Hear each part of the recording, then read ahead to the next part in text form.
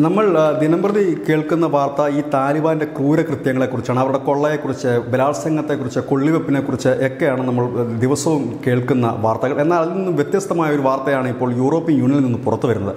കാരണം ഈ European union അവരുടെ രാജ്യങ്ങളിൽ അനധികൃതമായി കുടിയേറിയവരെല്ലാം പുറത്താക്കിക്കൊണ്ടിരിക്കുന്ന നടപടികൾ നേരത്തെ തന്നെ തുടങ്ങിയിരുന്നു. പ്രത്യേകിച്ച് Netherland Germany Switzerland Denmark Austria Greece തുടങ്ങിയ രാജ്യങ്ങളെല്ലാം നേരത്തെ തന്നെ ഇത്തരത്തിൽ ആളുകളെ പുറത്താക്കിയിരുന്നു. നമുക്കറിയാം ഈ രാജ്യങ്ങളെല്ലാം തന്നെ ഈ കുടിയേറ്റക്കാരെ രണ്ട് കൈയും നീട്ടി സ്വീകരിച്ചിരുന്നവരാണ്. പിന്നീട് ഈ കുടിയേറിയവർ തന്നെ ഈ രാജ്യങ്ങൾക്ക് വലിയൊരു പാരയായി മാറുന്ന ഒരു സാഹചര്യത്തിലാണ് ഇവരെ നാട് കടത്താൻ ഇവർ തീരുമാനിച്ചത്. അതിന്റെ ഭാഗമായി അഫ്ഗാനിസ്ഥാനിൽ നിന്ന് കുടിയേറിയവരെയും നാട് കടത്താൻ തീരുമാനിക്കുകയും കുറച്ചധികം ആളുകളെ നാട് കടത്തുകയും ചെയ്തു. പക്ഷേ ഇപ്പോൾ താലിബാൻ അഫ്ഗാനിസ്ഥാനിൽ താണ്ഡവമാടുന്ന സാഹചര്യത്തിൽ ഇപ്പോൾ ഇവരെ കുടി ഇറക്കുന്നില്ല എന്നും ഇവരെ നാട് കടത്തുന്നില്ല എന്നും നെതർലൻഡും ജർമ്മനിയും സ്വിറ്റ്സർലൻഡും തുടങ്ങിയ യൂറോപ്യൻ യൂണിയൻ രാജ്യങ്ങളെല്ലാം അറിയിച്ചിരിക്കുന്നു. ഇതിൽ ഡസ്റ്റിസ് സ്റ്റേറ്റ് സെക്രട്ടേറിയറ്റ് ഓഫ് മൈഗ്രേഷൻ പറയുന്നത് മനുഷ്യത്വപരമായ ഒരു സമീപനമാണ് ഞങ്ങൾ സ്വീകരിച്ചിരിക്കുന്നത്. ഇത് താൽക്കാലികം മാത്രമാണ്. അതായത് അക്രമം നടക്കുന്ന അരാജകത്വം വാഴുന്ന ഒരു നാട്ടിലേക്ക് ഇവരെ ഇപ്പോൾ നാട് കടത്തുക എന്നുള്ളത് അത്ര ശരിയായ കാര്യമല്ല. അതുകൊണ്ട് ഞങ്ങൾ ഇത് താൽക്കാലികമായി നിർത്തിവെച്ചിരിക്കുന്നു എന്നാണ്. ഏതായാലും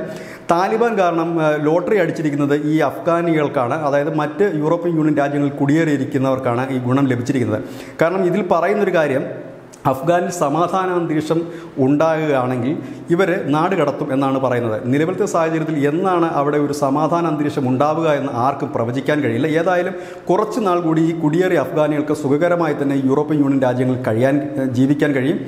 ഏതായാലും ഈ താലിബാന്റെ ഒരു അക്രമം കൊണ്ട് ഗുണം കിട്ടിയിരിക്കുന്ന ഇവർക്കാണെന്ന് നമുക്ക് പറയാതിരിക്കാനും കഴിയില്ല. പക്ഷേ ഏത് നിമിഷവും അഫ്ഗാനിൽ ഒരു സമാധാന അന്തരീക്ഷം ഉണ്ടായാൽ ഇവർ നാട് കടത്തപ്പെടുക തന്നെ ചെയ്യും.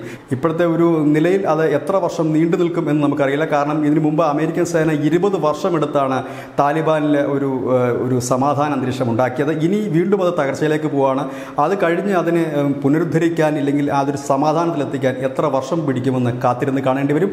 അതുവരെ ഏതായാലും ഈ അനധികൃത കുടിയേറ്റ അഫ്ഗാനികൾക്ക് ഈ യൂറോപ്യൻ യൂണിയനിൽ സുഖമായി കഴിയാം. ന്യൂസ് ഡെസ്ക് ന്യൂസിന്റെ മലയാളം.